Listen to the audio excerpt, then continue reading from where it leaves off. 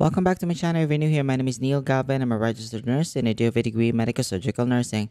I create my nursing educational videos to help nursing students and nursing professionals like you with their studies. If that is something that you are interested in, consider subscribing. If you are already a subscriber though, thank you so much for your love and support. I see you. I upload nursing educational videos Mondays, Wednesdays, and Fridays. Please make sure to subscribe now. Hit the notification bell so that you will be the very first to watch my newest uploads. Also, don't forget to give this video a big thumbs up and share with your friends because that will really help me know that you like this Mark and Sense like this. Without further ado, guys, let's jump into the video. Hi everybody! Welcome back to our Wednesday class. Kumusta kayo ng mga ganap nyo? And before I further proceed, I would just like to greet you. Good morning, good afternoon, and good night. Just in case I don't get to see you. Maraming maraming salamat nga po. Thank you, thank you very much for your continuous support on the channel.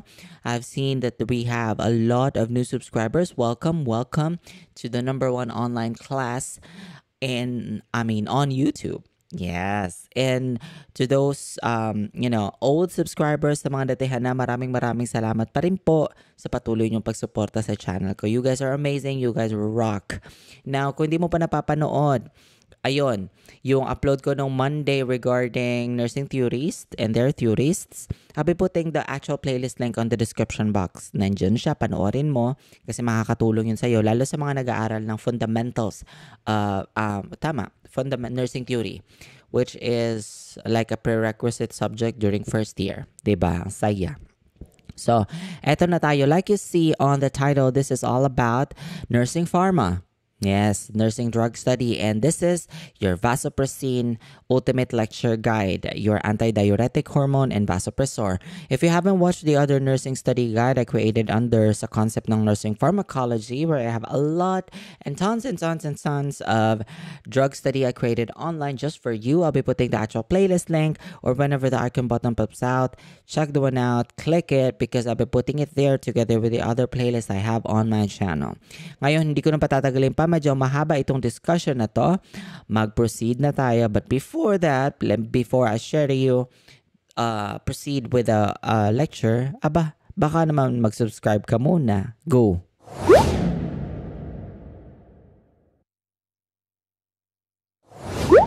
Ayan, maraming maraming salamat for doing that for me. Aba, nag-subscribe ka ba at nag-hit the notification bell para alam na alam mo yung next kong upload which is going to be this Friday. Oh, Thank you so much. Thank you for you. Thank you to you. Wow.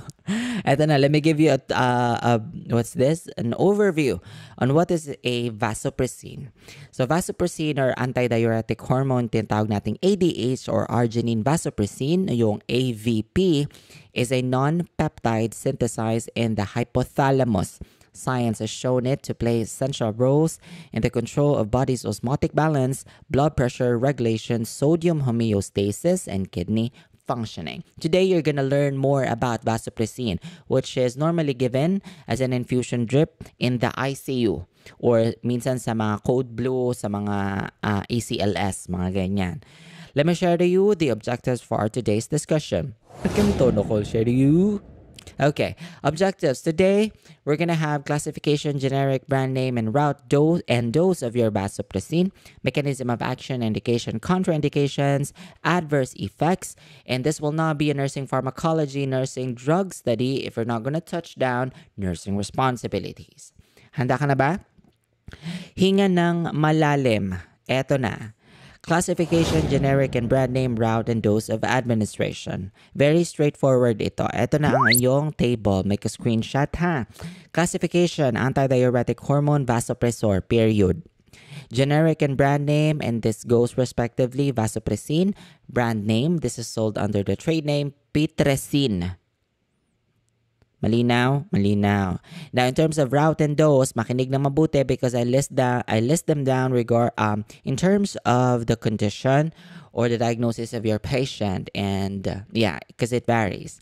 For patients who are are during cardiac arrest 40 units iv bolus stat may give intraosseous or via endotracheal tube for one single dose. Malinaw? Malinaw If your patient is diagnosed with GI bleeding, expect a loading dose of 20 units, slow IV bolus over 20 minutes.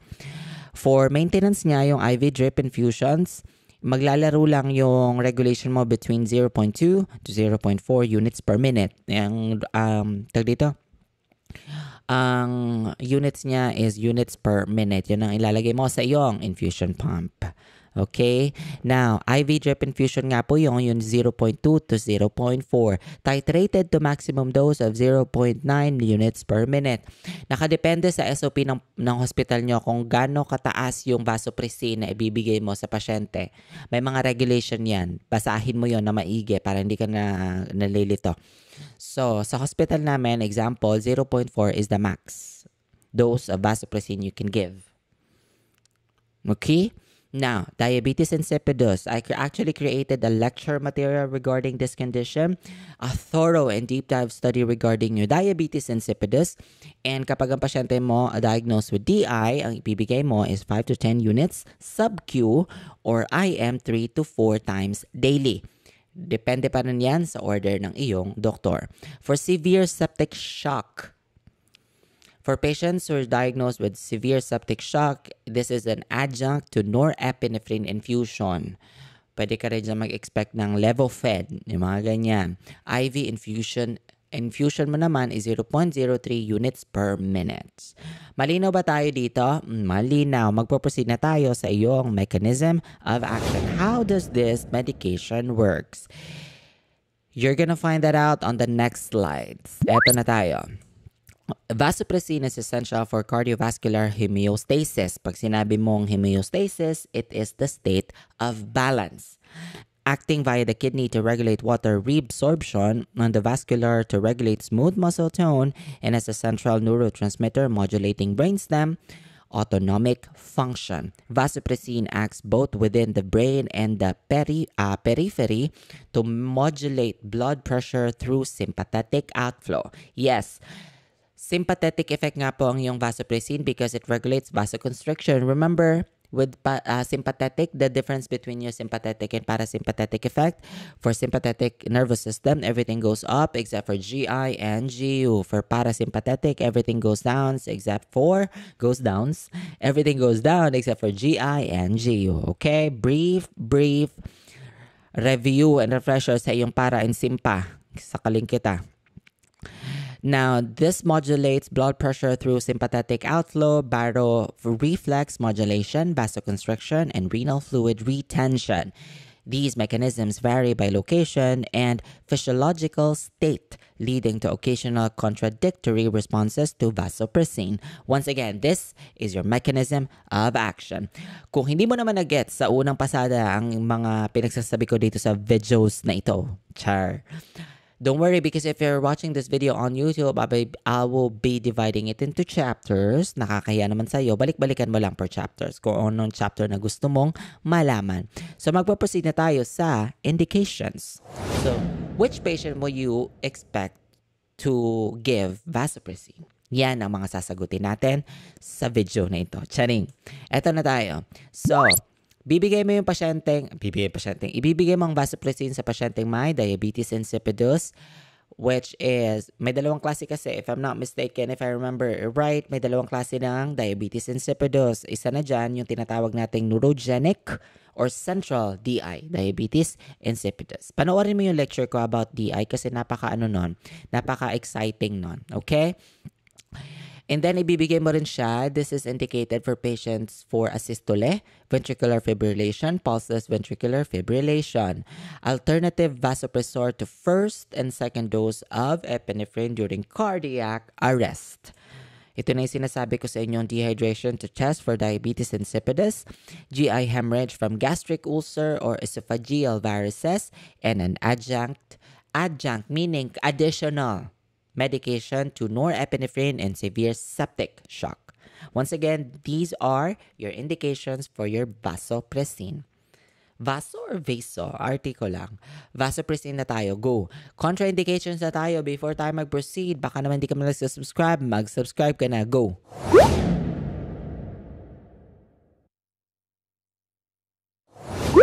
Thank you so much for doing that. I love you to the moon and back. Eto na tayo. Eto na tayo sa mga contraindications. Makinig ng mabuti. Huwag kukurap, huwag hihinga. Eto na. Tare, parang bingo lang. So this is not recommended after second dose of epinephrine has given during cardiac arrest. Meaning, sa nagko-code blue, sa mga ACLS dyan, first dose mo ay epi. Tapos magbibigay ka ng vasopressin as your second dose in adjunct or in replacement to epinephrine? No. Tamam? Ay, tamam. Okay, okay. Next, ischemic heart disease, coronary artery disease, same thing. Not indicated to nephrogenic diabetes insipidus, nephritis with nitrogen retention because this is what eliminated through or processed through your kidneys. Not safe during pregnancy or lactation category X. Meron na tayong cautious warning with epilepsy, migraine, asthma, heart failure, angina pectoris, kidney disease, acute or chronic renal failure, all, uh, older adults, children, and lactation. Once again, these are the contraindications of your vasopressin. Mag-proceed na tayo. Naku, malapit na tayo matapos. Akala mo yun? Ano ba mga adverse effects ng iyong vasopressin? Makinig na mabuti kasi malalaman mo dito ano yung mga dapat mong hindi i-expect sa pasyenteng naka-vasopressin. Because magkaiba ang ibig sabihin ng adverse effects sa side effects. When you talk about side effects, that is expected effects that you can see once a patient is receiving the said medication. For example, vasopressin, that's expected of him.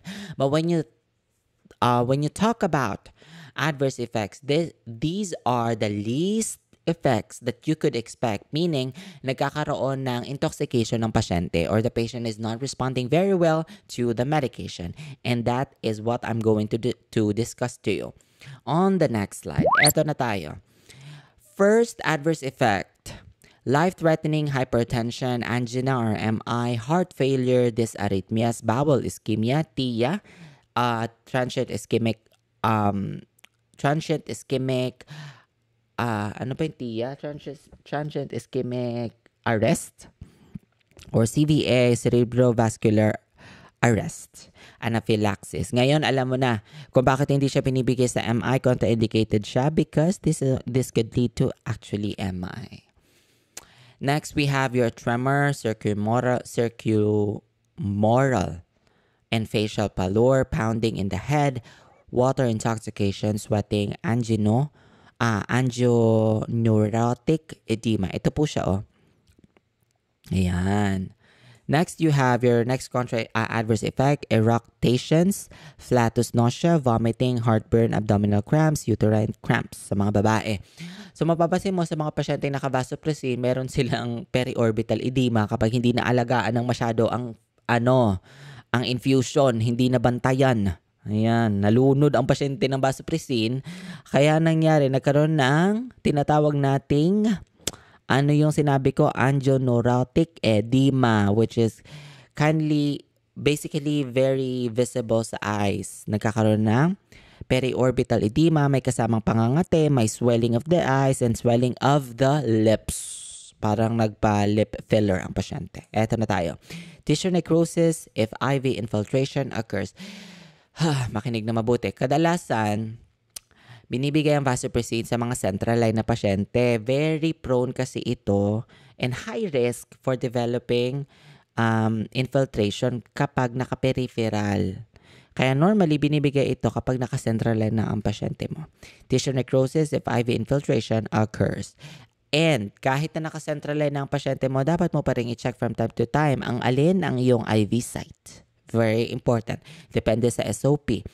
Every hour kapag central line, every 4 hours naman peripheral line. Depende sa SOP nyo. Ganun lang sa SOP namin. Okay? SOP, hindi ano ah, hindi yung ka-partner ng, uh, hindi yung ka, ano ng, ano, ka ano ng ASAP. Di ba? Yung dati. SOP meaning Standard Operating Procedure nyo sa hospital. Every hospital have their own SOP. So might as well be aware about those things because because because it's really beneficial for you. Ngayon, bago tayo mag-proceed sa next slide sa nursing responsibilities, hindi ka ba doon nagsusubscribe? Oh, daldal ako ng daldal dito. Go, subscribe na.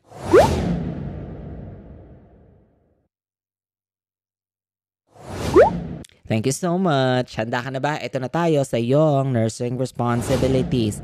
As a nurse, what is your responsibilities if your patient is having an ongoing infusion of vasopressin? Eto na po, iisa-isahin ko sa inyo. First, as a nurse, drug interactions. That's one thing that you need to be aware of. Okay, be careful. Mga drug interactions mo, meaning drug-to-drug interactions, alcohol, demiclocycline, epinephrine, heparin, lithium, phenytoin may decrease ADH effects of vasopressin. Guanetidine and neostigmine increase vasopressor effect of vasopressin. Chlorpromam, ah, what's this? Sorry, chlorpropamide, clofibrate, and carbamazepine and thiazide diuretics may increase the antidiuretic effect of vasopressin. What else? Drug incompatibilities. Do not mix with other drugs.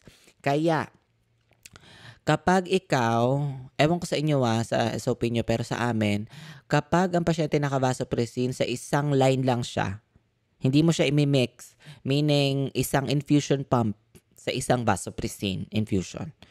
Hindi mo siya pwedeng i-mix sa kahit na anong gamot kapag may mga regular meds ka tapos ihuhook mo siya together with vasopressin. No. Okay? Because you're preventing drug-to-drug interactions. Monitor vital signs, especially blood pressure, hourly during intravenous infusion. Very important. Monitor urine output and specific gravity. Kaya titingnan mo, ang normal urine output ng pasyente mo is 30 to 40. That's the normal per hour. Next, you have assess patient closely for signs of chest discomfort or TIA. Look for signs of life-threatening conditions such as arrhythmias. Ano pa? Yung mga nursing responsibilities mo, you have your if anginal or ischemic episodes occur with intravenous infusion, a concurrent IV uh, infusion of nitroglycerin may relieve these adverse effects. So kapag nag-positive sa angina, or chest pain ng pasyente mo, pwede mag-order ng doktor ng nitroglycerin infusion together with your uh, vasopressin. Pero hindi mo siya ipagsasama sa isang linya lang, sa saktang kita. Okay ba yun? Para lang ma-relieved yung alin, yung chest pain ng pasyente mo. Next, watch patients for fluid volume alterations. What do I mean by this? If vasopressin dose for DI is insufficient, the patient can become dehydrated. If vasopressin dose for DI is too large, the patient may become overhydrated, fluid intoxication. Children, especially infants and elderly, are more susceptible to fluid alterations. Hence, you are monitoring your INO. IV infusion should be administered through a central venous line if possible. What did I tell you? Madalas talaga na binibigay ito sa mga Paano ulit? Madalas talaga na binibigay ito sa mga pasyenteng naka-centraline na. Kasi nga para ma-avoid yung infiltration. Okay? Extravasation. Mga ganon. Next, watch peripheral IV sites closely for early signs of infiltration. Extravasation of vasopressin may occur, may cause tissue necrosis to skin. 'Di ba? tissue necrosis, bang maputulan pa yun ang kamay ng pasyente mo. Therefore, monitor IV site every hour. Have phentolamine, regentine, close to bedside of the patient, which is an antidote for your vasopressin. Next, an alternative for diabetes insipidus treatment is desmopressin, DD-AVP, which may be given intranasally BID and has less vasopressor effect than vasopressin. Once again, this is your nursing responsibilities. At dyan na nga natatapos ang ating online class for this Wednesday. Maraming maraming salamat po. I hope you learned something. Please like, share, and subscribe to my channel for more nursing educational videos. Let me know if you have other nursing topics you want us to do. Comment it down below. Abangan mo nga yung next upload natin this coming Friday because I'm thinking of uploading nursing test banking. Yes! Alam ko kayo, excited na excited kayo sa mga ganon. Kaya naman, your wish is my command. Tulungan nyo na nga ako, ipamalitan nyo na sa radyong sira ang pinakabago, pinaka-fresh at ang pinakalibreng nursing review center sa balat ng YouTube. And don't forget to follow me on all my other social media accounts. Everything is basically at Neil Gave, except for my TikTok account, which is Neil Gave Official. I have a podcast channel. It's 3 a.m. Conversation with Neil Gabe, Gabe, Gave, which I recently uploaded last Tuesday, uh, yesterday. And then this video lecture is going to be available Also on my Facebook page, check that one out. And if you wish to share it to your social media platforms, don't forget to tag me so just I can say thank you and say how much I appreciate you. I will see you again on Friday and you have a good one.